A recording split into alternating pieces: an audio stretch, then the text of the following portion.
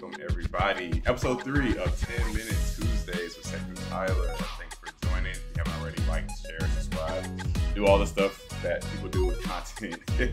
uh, we have here today Melissa Sledge. Melissa Sledge is the project manager at Lovelytics. Appreciate you for joining on. Thank you so much for taking some time out of your day. We appreciate you. Absolutely. Happy to be here. Appreciate it. All right. So, know the drill. Episode three, we're into it. So, let's go ahead and run down. Um, Melissa, introduce yourself. You know, just give us a quick introduction about yourself. A quick intro. So, uh, originally from Kansas City, uh, went to college in Arizona. I'm a Sun Devil. Um, traveled around and uh, found my way to Atlanta about three years ago. So, still learning the area, um, but certainly have no shortage of, of places to eat. Yeah. awesome. Awesome. How you liking Atlanta? You getting adjusted? I am getting adjusted. Yeah. Um, it's it's a it's a different vibe, but but it's fun. It's awesome, fun. awesome. Good deal. All right. So we know there's a journey, there's a start, talking about being from Arizona, many different jobs, many different things in the industry. So to date, what has been your least favorite job? Um, one of the first like big jobs I had outside of college or right after college was medical supply sales. And it sounds appealing. You're like, great, you can make big money, you're going in these hospitals. But like in reality, I think it was before I accepted the fact that I'm an introvert. So the idea of like cosplaying as an extrovert just like doesn't work, especially in sales. Like sales, you have to like be on it and like be very metric based. And me, I just wanted to like buy pastries and just talk to people. so that did not work very well.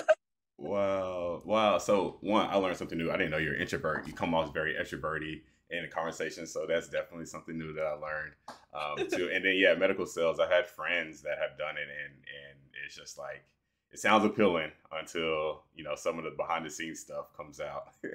yeah, big the big egos. Yeah, exactly. Cool. Well, now that you pivoted, you're not in medical sales anymore. Senior project manager in data. You know what really compelled you to get into data?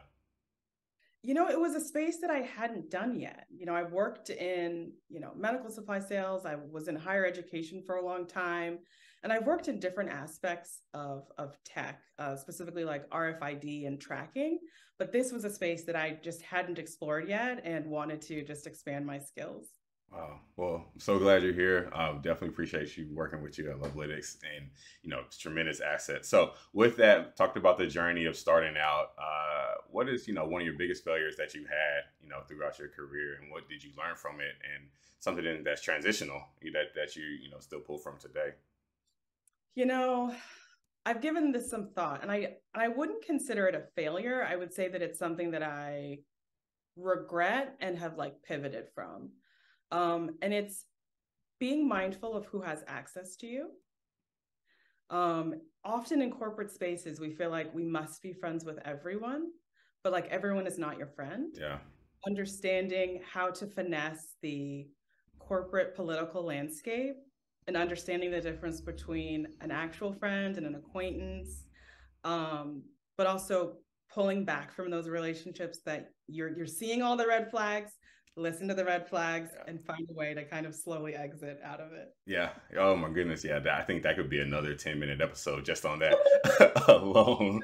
Just talking about the flags and everything. Oh yeah, definitely learned that lesson as well. Um, wow.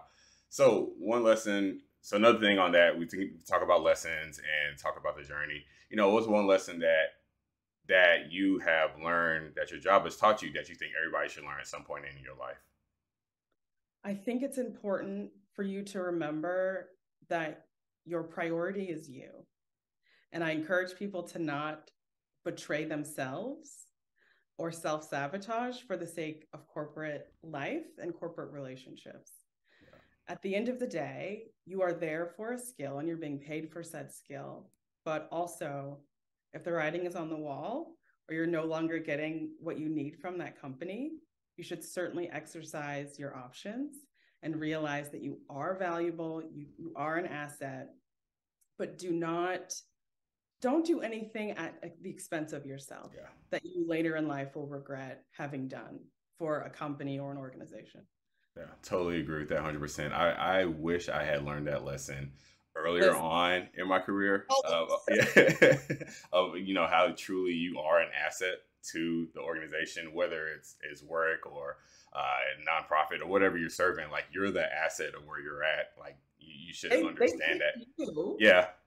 And but if you get to a point where you're like, I, I don't like this anymore. Like, yeah consider your other options. Wow, that's awesome. Awesome. All right. So, one piece of advice for someone who's just starting out in their career, if you had to give one piece of advice for somebody, what would it be?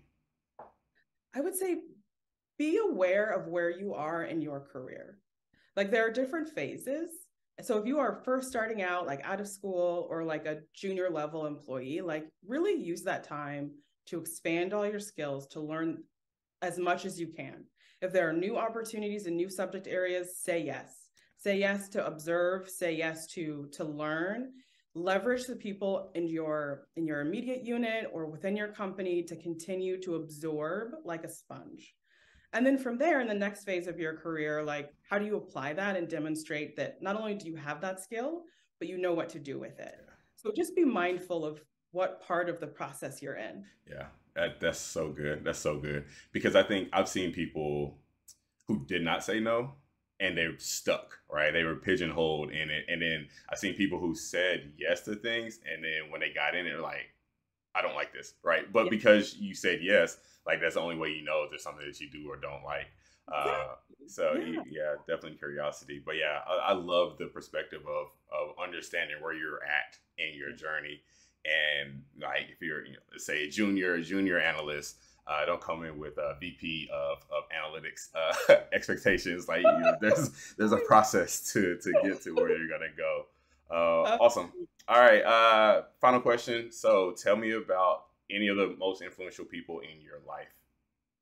You know, my parents. They are the funniest, most giving people that I've ever met. Like they're amazing individually, but they're also amazing as a pair. So having that support has been transformative. Um, also, I, my my third person, which always surprises people, is actually Martha Stewart. Really? Yeah. So Surprised me. So yeah. I discovered Martha Stewart when I was like in middle school, and middle school is awkward, and you're like trying to find your footing socially.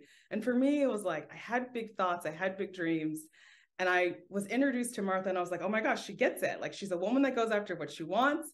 Like she's got a plan, she's got a vision. Like we are pursuing that vision. And I just kind of connected with that logic and that example of female entrepreneurship. And to this day, I'm just still a fan. wow. well, see, I learned something new. I had no idea Martha Stewart fan. So now every time I see on her magazine or something, I'm yes, like Melissa. So, yeah. Awesome. Well, thank you so much for joining. I always learn a lot and I enjoy connecting with different people. So thank you for joining and hopping on. Um, appreciate you taking time out and everybody else. I don't know. I don't know how to close this. I'll edit this part out. But thanks everybody for joining, and y'all have a great day.